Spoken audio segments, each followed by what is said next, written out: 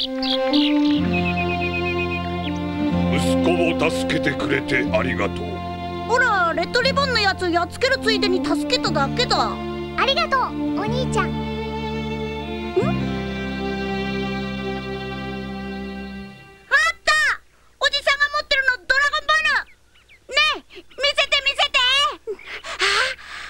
お前もこの玉が欲しいのか？1 2いやった通信中だ。じっちゃんの通信中が見つかったぞ。一体どういうことだ。その玉は一体何なのだ。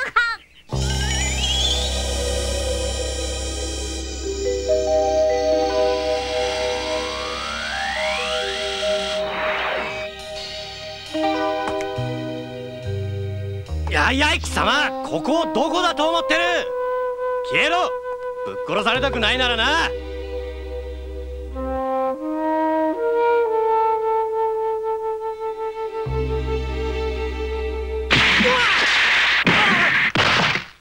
上官の顔を忘れるなんて最低ね。は こここれはプレー将軍 早く門を開けなさい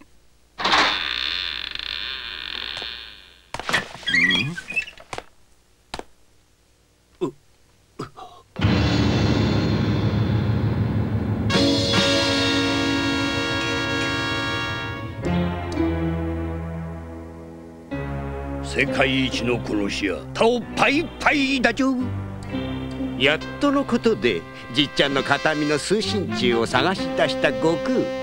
だが新たな敵の出現を悟空は知らない。果たしてタオパイパイの実力は？